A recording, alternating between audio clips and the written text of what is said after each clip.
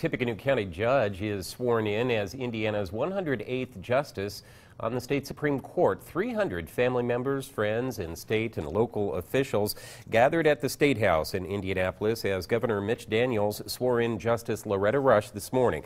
Justice Rush is the first woman to sit on the bench since 1999. She previously served as a juvenile court judge in Tippecanoe County for 14 years. Justice Rush says she couldn't have asked for a better time serving the families and children of Tippecanoe County, and she says she's humbled by all the support.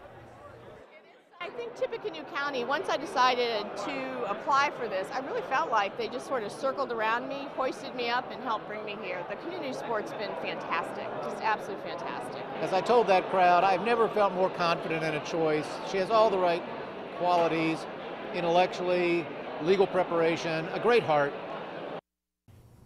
And coming up tonight at 6 o'clock, we'll hear from a